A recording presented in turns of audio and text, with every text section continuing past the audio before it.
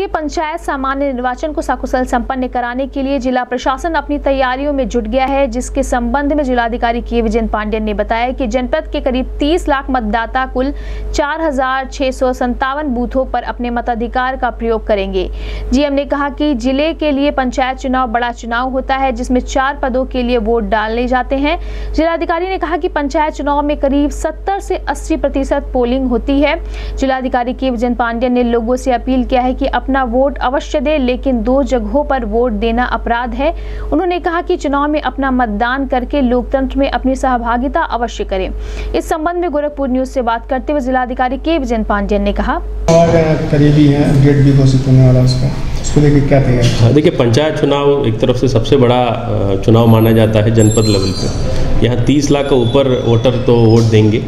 और आप जानते हैं हर गाँव का चुनाव उस पर भूमिका रहता है एंड वोटर टर्नआउट भी अच्छा खासा रहता है, सत्तर अस्सी फ़ीसदी तक का वोट पड़ जाता है। और इस पर हम लोग चार हज़ार छः सौ सतावन बूथ में वोट पड़ाएँगे एक एक बूथ में जो केंद्र पे 800 तक का वोट पड़ेगा। और चार वोट तो एक आदमी को देना होगा जो वोटर है उनका। एक तो ग्राम प्रधान का तो है, फिर ग्राम पंचायत सदस्य का है और ब्लॉक पंचायत सदस्य का है, क्षेत्रीय पंचायत सदस्य का, और उसके बाद जिला पंचायत सदस्य का है। उसी टाइप का चार वोट पड़ेगा अलग अलग रंग का जो होगी। और इस बार तो एक ही डब्बा में चारों वोट डालने के लिए चल रहा है। और हम तो लगभग तो तैयारी पूरा है। उसका कल भी माननीय आयोग के माध्यम से समीक्षा हुई थी। और हम लोग जो इस पर पूरी तरह तैयारी में लगे हुए हैं। अभी अंतिम चरण एक तरफ़ से चल रहा है जो आरक्षण का लेके, और तब 15 मार्च तक ये जो आरक्षण प्रक्रिया भी खत्म हो जाएगा, उसके बाद फिर चुनाव का घोषणा कभी भी हो सकता है, फिर हम लोग चुनाव करेंगे शांतिपूर्वक। आपको जो जनता की तरफ़ से मेरा अपील है, देखिए आप वोटर है तो एक ही जगह वोटर होना चाहिए तो दो जगह वोटर रहना तो अपराध है। और इसका वोटर लिस्ट अलग बनता है। वैसे आपका विधानसभा और सांसदीय चुनाव के लिए वोट देते हैं, वो लिस्ट अलग है।